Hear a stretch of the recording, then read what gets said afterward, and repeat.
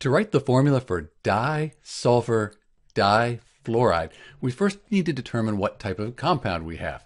So if we look at the periodic table here, broken up into metals, metalloids, and nonmetals, sulfur, that's right here, and then fluoride, that's going to be fluorine, that's over here.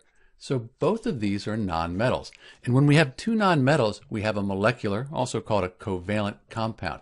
So to write the formula for this disulfur difluoride, since it's a molecular compound, we'll use these rules here.